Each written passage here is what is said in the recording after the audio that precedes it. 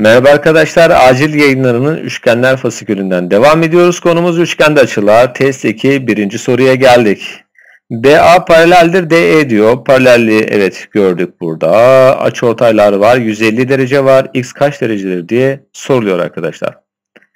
Şimdi şurada eşit olan açılarımız var bakın. Öncelikle AA, BB yazalım buralara bilinmeyenleri. Aslında şu 3 tane açının toplamının 360 derece olduğunu biliyoruz. Hemen buradan arkadaşlar bunu biliyorsak yazabiliriz. 2A artı 2B artı 150 eşittir 360 derece. Yani bu kural şöyle bir kuraldı paralel doğrular olacak. Burada bir kalem ucu oluşacak. Tamam mı? Şu üç açının toplamı her zaman arkadaşlar 360 derecedir.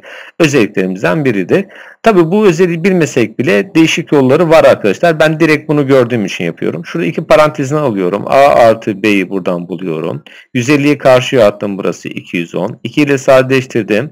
A artı B eşittir buradan 105 olarak bulundu. Şuradaki üçgende iki iç açının toplamı 105 derece oluyorsa şu ikisi arkadaşlar geriye ne kalıyor? 75 derece kalıyor. Doğru yanıt E şıkkı olacaktır. Geldik ikinci sorumuza. Üçgenimiz verilmiş eşit açılar var. X kaçtır diye soruluyor. Şimdi öncelikle şuradaki açıyı bulalım. Şurası 64 derece olacaktır. Burada şu noktalı açılara A diyelim arkadaşlar. Çizgili açılara da B diyelim. Şu şekilde yazalım. Büyük üçgende, büyük üçgende 2 tane A artı 2 tane B kaç derece eşittir? Evet, biliyorsunuz iki iç açının toplamı, B ile C açılarının toplamı şuradaki dış açıyı verecektir. Burası 116'dır. Tamam, burayı yazdık. İki parantezini alıp sadeleştirdiğimizde A artı B buradan 58 derece olarak bulunacaktır.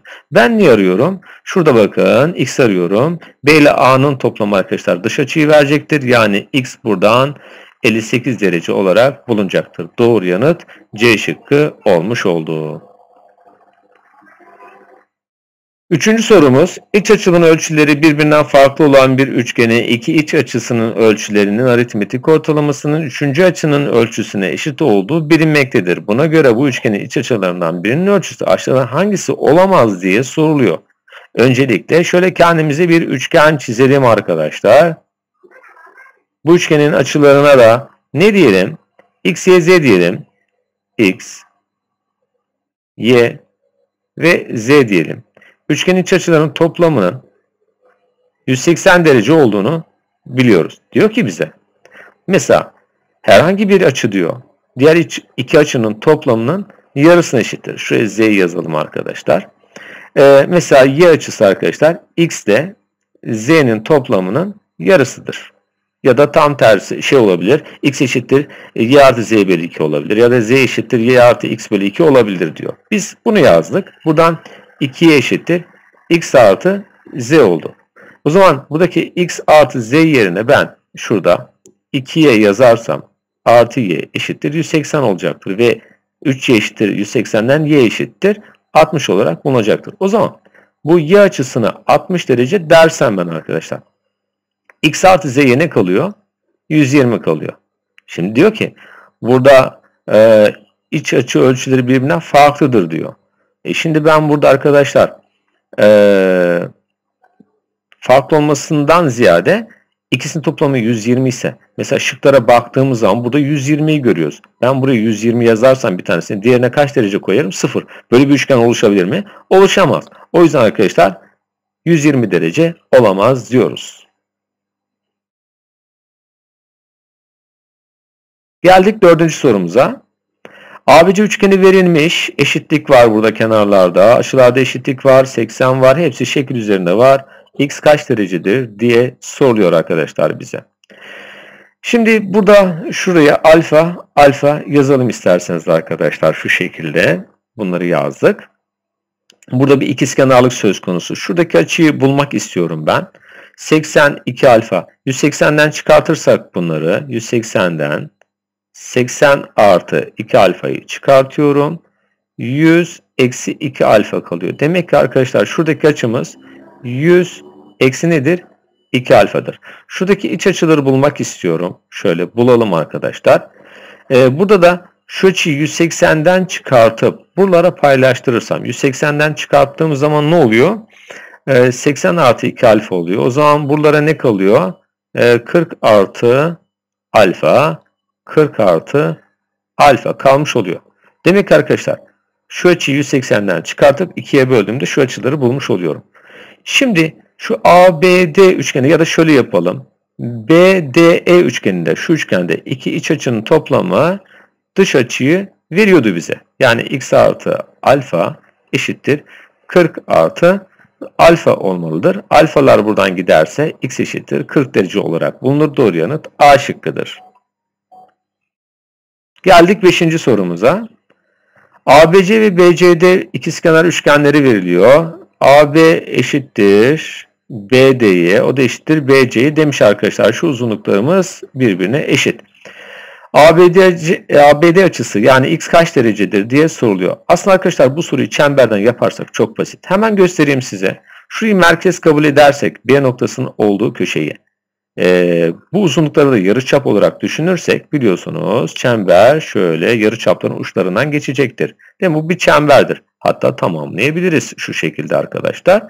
E, ve burası çevre açı oluyor. Çevre açı görmüş olduğu yayın yarısına eşitti. Yani buradaki yay ölçüsünün 84 olması lazım. Merkez açıda gördüğü yayı eşitti. X eşit x eşittir 84 derece, derece olarak burayı buluruz.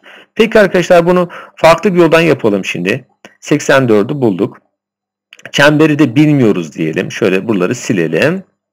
Bilmediğimizi düşünelim. İkiz kenarlardan yararlanmaya çalışacağız şimdi burada.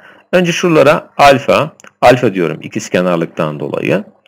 Ee, daha sonra şuradaki açımız bakın ikiz kenar üçgenimiz bu BCD üçgeni. Burası alfa artı 42'dir. Ee, şuradaki açıyı bulmak istiyorum. İki iç açının toplamı burayı veriyor. Burada da iki iç açının toplamı burayı veriyor. Yani alfa artı x eşit olmalıdır. Ee, alfa artı 42 artı 42'ye. Ne yaptık arkadaşlar? Şu üçgenlerdeki iki iç açıyı toplayıp şuradaki dış açıyı bulmak için işlem yaptık. Şimdi karşılıklı baktığımızda şöyle alfalar gidiyor. X eşittir buradan 84 olarak buluyor. İkinci çözümümüzde e, bu şekilde olmuş oluyor. Ama çemberden daha kolay arkadaşlar. Devam edelim. Geldik 6. sorumuza. ABC üçgeninde B ve C köşelerindeki açıların iletki kullanılarak ölçümü aşağıda gösterilmiştir. ABC bir ikizkenar üçgen ve AB kenarının iletki kestiği açının ölçüsü x derecedir diyor. X'in alabileceği farklı değerler kaç tanedir diye soruyor. Şimdi öncelikle bu bir ikizkenardır. Bunu unutmuyoruz arkadaşlar. Şuradaki açıyı bir hesaplayalım. Şuradaki açımız 120 ile 40 arasındaki fark kaçtır?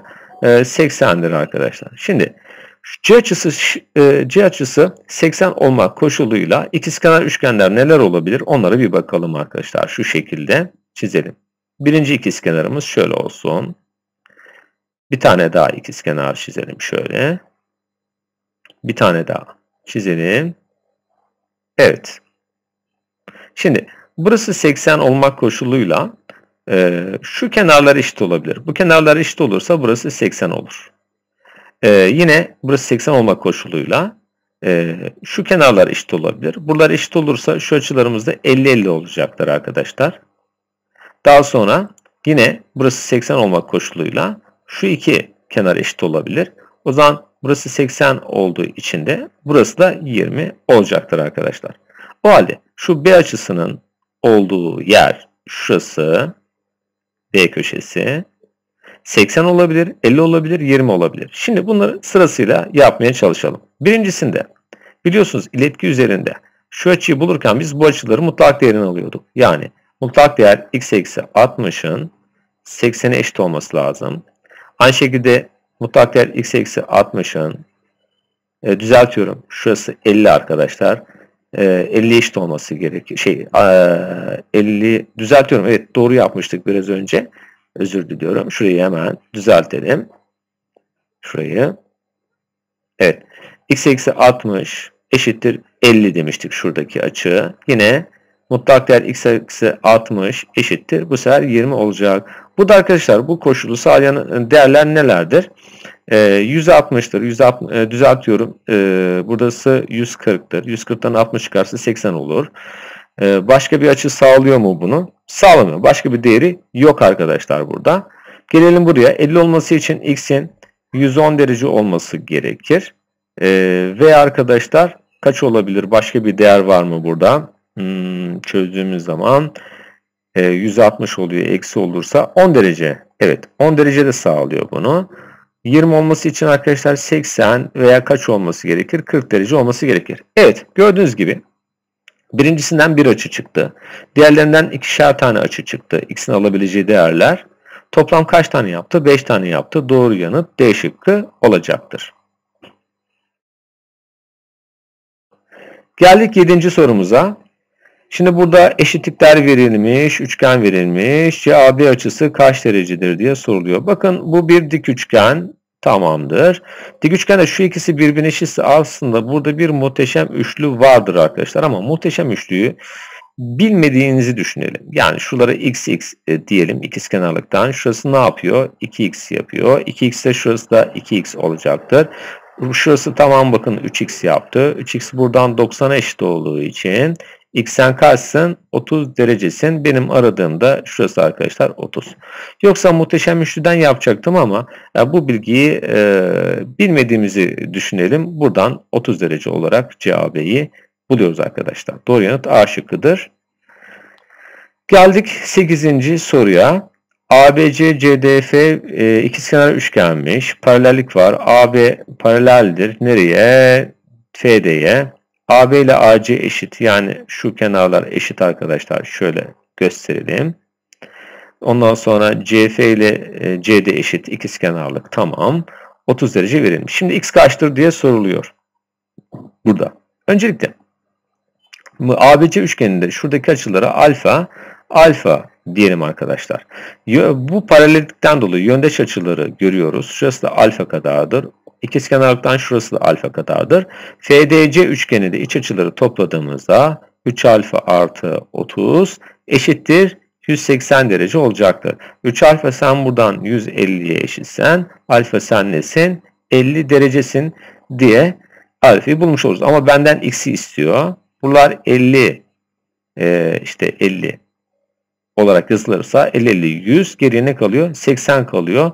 Doğru yanıt C şıkkı olacaktır. Geldik 9. sorumuza. ABC ikizkenar bir üçgenmiş. 3 tane uzunluk birbirine eşit verilmiş. 45 var, x var. x açısı kaç derecedir? Tabi burada ikizkenarı görünce bakın hep ikizkenarların neresinden başlıyorum? Taban açılarından alfa alfa diyerek başlıyorum arkadaşlar. Alfa ile 45'in toplamı şuradaki dış açıyı veriyor. Alfa artı şöyle 45. İkizkenarlıktan şurası alfa artı 45 derece olacaktır. Şu DBC üçgeninde iç açıları toplayalım arkadaşlar. 3 alfa artı 90 eşittir 180. Buradan alfa eşittir 30 derece olarak bulunur. Burası 30, şurası da 30 diye yazılırsa bu iki iç açının toplamı da dış açıyı vereceğinden dolayı x 60 derece olarak bulunmuş olur. Doğru yanıt arkadaşlar B şıkkıdır. Geldik 10. sorumuza. ABC üçgeni eşkenar üçgen olarak veriliyor. Eşkenarsa kenarları birbirine eşit, açıları 60'ar derece. Şöyle yazalım. Mutlaka bunu gösterelim burada arkadaşlar. Tamam. 60'ları yazdık. ABD üçgeni e, veriliyor. Eşit uzunluklar var. BAD açısı kaç derecedir diye soruluyor. Şimdi nereden başlayalım? Şuradaki küçük AEC üçgeninden, ikizkenardan başlayalım. Bunlara x, x diyelim şu açılarımız arkadaşlar. İkisinin toplamı şuradaki dış açıyı verecek. 2x olacak. Buradaki ikizkenarlıktan dolayı şurası 2x olacak. Ve e, şunu yapabilirim. ACD üçgeninde x ile 2x'in toplamı bize neyi veriyor? 60'ı veriyor arkadaşlar. Yani 3x eşittir buradan 60 olur. x'en kaçsın? 20'sin diyoruz. Benim aradığım BAD açısı. BAD açısı ne oluyor? Şurası 20 olduğuna göre 80 derece oluyor arkadaşlar. Şuraya dikkat ettiniz mi bilmiyorum. X'i bulurken yani ne yaptım? Şurada ACD üçgeninden yararlandım. Aslında ABD üçgeninde iç açıları toplayarak da X'i bulabilirdim ama iki iç açının toplamı dış açıyı veri kuralını kullanmak bana daha kolay geliyor. Tabii size kalmış arkadaşlar kullanıp kullanmamak. Şimdi sırada 11. sorumuz. E burada 40-60 verilmiş. Eşit uzunluklar var. AB nereye eşitsin? AD'ye eşitsin. Başka DC eşit olarak verilmiş. Buna göre x kaçtır diye soruluyor arkadaşlar. Şimdi e, bu eşit uzunluklar verildiğinde 60 derece bizim için çok önemlidir. Çünkü 60'ın olduğu yerde eşkenar üçgen olabilir. Aileceyi birleştiriyorum. Burayı birleştirmeyi tercih ediyorum. 60'ı gördüğümde şunlar birbirine eşit olduğu için taban açılır da 60'ar derece olacaktır diyorum. Ee, şunun tamamını yazmıyorum arkadaşlar. Bakın eşkenarlığı gördünüz burada. Şimdi AB eşittir AC oldu. İkizkenar üçgen arkadaşlar. Burası da x kadar olacaktır. Şurası 100 olduğuna göre buralara 40 40 kalacaktır. Değil mi? X açısı sen kaçsın? 40'sın diyoruz. Doğru yanıt B şıkkı olacaktır. Geldik 12. sorumuza. Köşeleri ABC harfleriyle isimlendirilmiş eşkenar üçgen biçimdeki bir ABC kartonu düz bir zemin üzerinde bulunmaktadır. Tamam eşkenarsa şu 60, şurası 60 yazmakta yarar var arkadaşlar. Şu kenarlarımız birbirine eşit. Şurası da tabii ki AC eşit. 40 derece verilmiş. Bir ucu B, diğer ucu D harfiyle isimlendirilen BD çubuğu B noktası etrafında, şu B etrafında BC kenarının dik olana kadar döndürülüyor. Yani şu yapılıyor arkadaşlar. Şuradan BD doğrusunu çizdiğimde bu döndürülüyor. 90 derece oluncaya kadar şöyle döndürülüyor. Tamam döndürdük. Ee, burası arkadaşlar şurası D noktası oldu. Yeni D noktası oldu. Buna göre BD diktir BC şartının ilk kez sağlandığı anda dönme açısının ölçüsü aşağıdakilerden hangisi olabilir? Bakalım. Şimdi kaç derece dönmüş oldu buradan buraya? Şunun tamamı 90 olduğuna göre 60 e, düzeltiyorum. 50 derece dönmüş oldu. Şıklarda böyle bir şey var mı arkadaşlar? Maalesef yok. Zaten soruda ne diyor? Olabilir diyor. Şimdi ben bunu pozitif yönde döndürdüm. Şimdi arkadaşlar bunu bir de negatif yönde yani saat yönünde böyle döndürürsem şöyle ne olacaktır? Dik olacaktır. Tamam Ne yaptım? Döndürdüm burayı. Ee, burası 90 derece artık. Arkadaşlar buradan buraya kaç derece dönmüş oldu? 90 artı 40'tan 130 derece dönmüş oldu. 100 e, şıklara baktığımızda D'de bu sağlanıyor. Doğru cevap D şıkkıdır. Evet arkadaşlar. ikinci testi bitirdik. Üçüncü testte görüşmek üzere. Kendinize iyi bakın.